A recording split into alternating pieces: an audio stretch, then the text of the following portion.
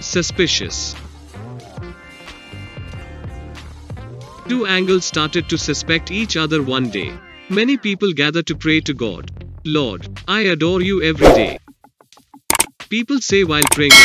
In this case, the question is who is the genuine devotee? They went straight to the Lord with their question. Angels. The Lord said, Go around this area and meet a lot of individuals to figure out who my genuine devotee is. The angels immediately left and went to question a large number of people. I never go to temple. I worship God 3 times a day. Someone stated, On Fridays and Tuesdays, I shall go to the temple, he replied the next. I will surely go to the temple one day a week, replied the other. When I am in difficulties, I will pray to God, remarked another.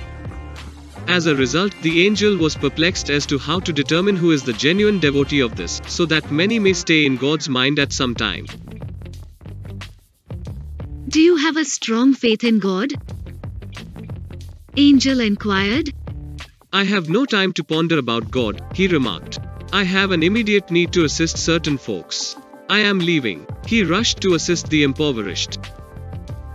The angels came back to God and told him what had transpired. Everything was heard by God, and he went silent.